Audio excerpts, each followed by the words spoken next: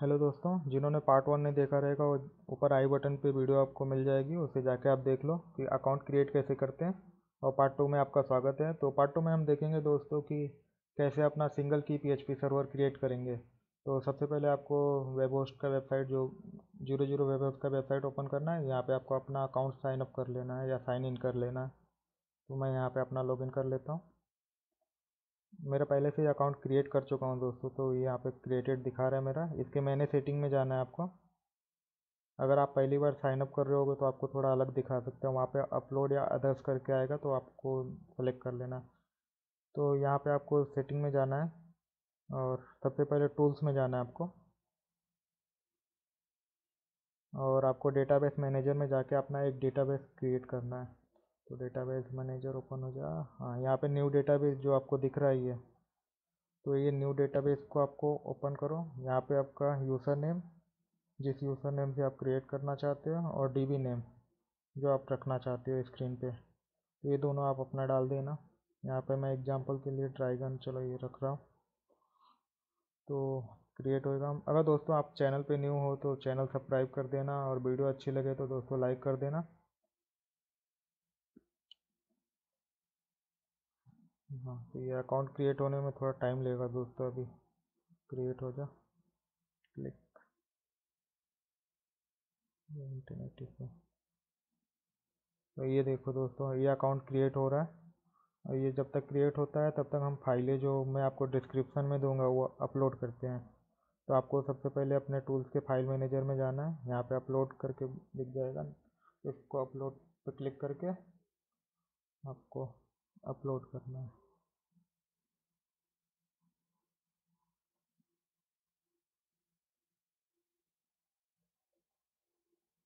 तो यहाँ पे पब्लिक एच ये वाला फोल्डर ओपन करना है। इसके अंदर आपको ये ऊपर आपको दिखेगा बटन अपलोड का अपलोड अपलोड काम गया ये अपलोड इसमें आपको ये सर्वर जिप करके फ़ाइल और अनजिपर ये दोनों अपलोड करना है।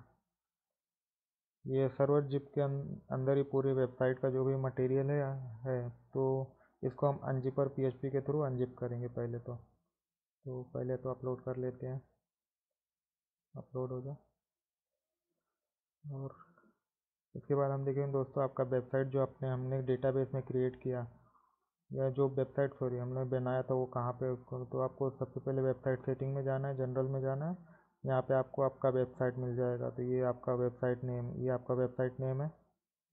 जैसे कॉपी कर लेना अनजिप करने के लिए। तो यहाँ पे आपको न्यू टैब में पेस्ट कर देना है। और स्लैश करके अनजिपर डॉट पी टाइप करना है, जो आपके पी का नाम था। अनजिपर पी का जो हमने अपलोड किया था दोस्तों। तो ये टाइप कर देते पहले तो टाइप हो गया। अभी एंटर कर देना तो एक न्यू पेज खोल जाएगा। हाँ तो यहाँ पे आपको नीचे अनजिप का ऑप्शन दिख रहा है, इस पर क्लिक करना। फ़ाइल सक्सेसफुली अनजिप अभी यहाँ पे अगर रिफ्रेश करेंगे तो फ़ाइल आ जाएगी। पहले हम इनको डिलीट कर देते हैं रिफ्रेश ऑटोमेटिक हो जाएगा। तो ये फाइलें काम की नहीं है डिलीट तीनों फाइलें हाँ, जो हमने अनजिप की थी ये फाइलें आ गई अभी हमको दोस्तों ये अभी अपलोड कर दी। अभी डेटाबेस में आपको जाना है टूल्स डेटाबेस हाँ तो यहाँ पे आपको पासवर्ड चेंज कर लेना है। फिर से और चेंज करके कॉपी कर लेना है। मैं कॉपी कर लेता हूँ कॉपी और इसको अपने फ़ाइल के डीबी मैनेजर में पेस्ट करना है। डीबी सॉरी डीबी मैनेजर बोला DB dot P H P इस पर आपको, ये आपका सेकेंड वाला ऑप्शन है, ये आपका पासवर्ड है तो ये, यहाँ पे आपको पेस्ट कर देना है। पेस्ट वैसे आपको यूज़र नेम पहले तो चेंज कर लेते हैं। चेंज हो गया। अभी डी बी यूज़र नेम और डी बी नेम इन दोनों को भी कॉपी करके वहाँ पे पेस्ट कर देना है। D B dot P H P में। तो ये आपका पहला वाला जो रहेगा, ये आपका डी बी यूज़र नेम है। यहाँ पे पेस्ट यूज़र नेम आप अपना पेस्ट कर देना। और ये है आप डी बी नेम तो आपको तीसरा वाला, ये डी बी नेम तो यहाँ पे पेस्ट कर देना इसको भी और सेव कर देना।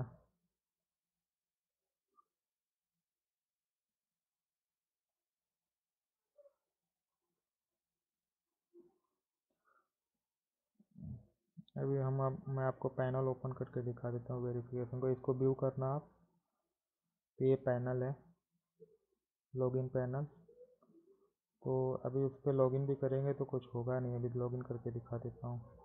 लॉगिन कुछ हुआ नहीं। कि हमने अभी तक पा, पासवर्ड डाला नहीं है डेटाबेस में तो अभी डेटाबेस के dot my P H P admin में जाना। और एक एस फ़ाइल आपको डिस्क्रिप्शन में मैं दे दूँगा। जो भी फाइलें रहेंगी सारी की सारी वो आपको डिस्क्रिप्शन में मिल जाएँगी दोस्तों। तो यहाँ पे आप अपनी आईडी पे क्लिक करना। क्लिक लोड होगा थोड़ी देर। आप, ये आपको एस में जाना है। वही लोड हो जाए जल्दी। सॉरी दोस्तों लोडिंग हो रहा है। अभी थोड़ा टाइम ले रहा है।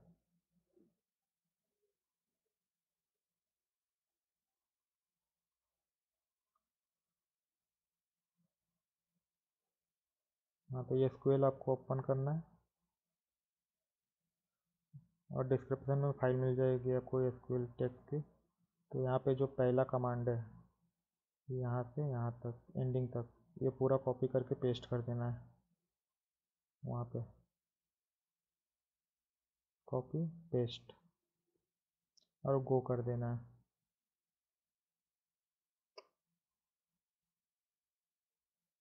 ये हमारे पैनल का है, पहले वाले पैनल का, अभी हम दूसरे वाले पैनल का भी ऐड कर देते हैं।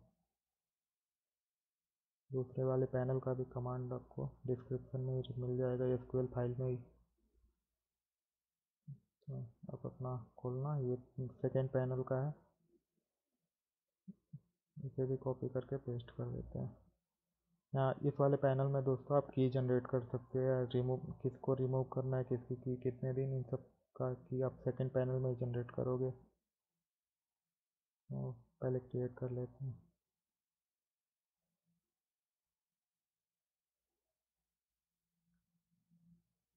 और रिफ्रेश कर देना सब होने के बाद।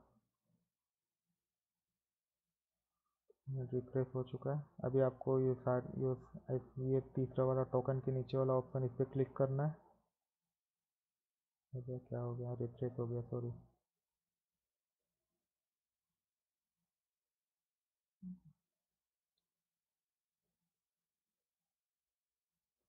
रिफ्रेश हो गया, अभी ये सारी सारी यहाँ पे पहले से एक पासवर्ड जनरेटेड रहेगा, इसको डिलीट कर देना आप लोग।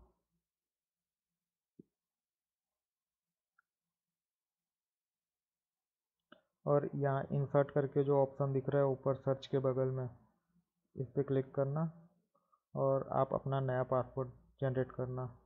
तो सबसे पहले आईडी में जाना, यहाँ पे वैल्यू देना, कोई सी भी वैल्यू हाँ ये लॉगिन है तो यहाँ पे आप यूज़र नेम डालना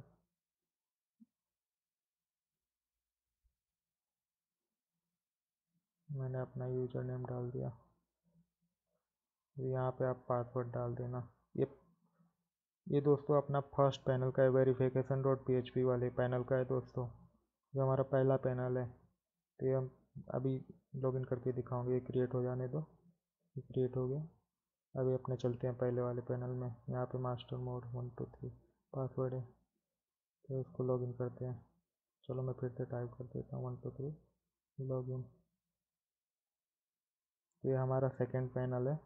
यहाँ पे आप की जनरेट कर सकते हो। मैं चलो, मैं पहला की जनरेट करके पहले से तो इसको क्रिएट करते हैं। रजिस्टर देखो दोस्तों, ये सेवन की की जनरेट हो चुकी है। और इसे चेक कैसे करेंगे तो आप कि आपका ये पैनल सही से बना है कि नहीं तो आपको लॉगिन डॉट पी को व्यू करना है। अगर ऐसा ऑप्शन आए मतलब आपका पैनल सक्सेसफुली जनरेटेड है। आप इसका मोड मेन्यू का जो लॉगिन पेज रहेगा, उसमें आप डायरेक्ट अपना जो वेबसाइट को ऐड कर सकते हो, लॉगिन पी वाला। तो दोस्तों, वीडियो देखने के लिए यहाँ तक धन्यवाद। वीडियो अच्छी लगी हो तो लाइक, कमेंट और कोई भी आपका सवाल हो तो दोस्तों, आप मुझे टेलीग्राम पे आके डीएम कर सकते हो।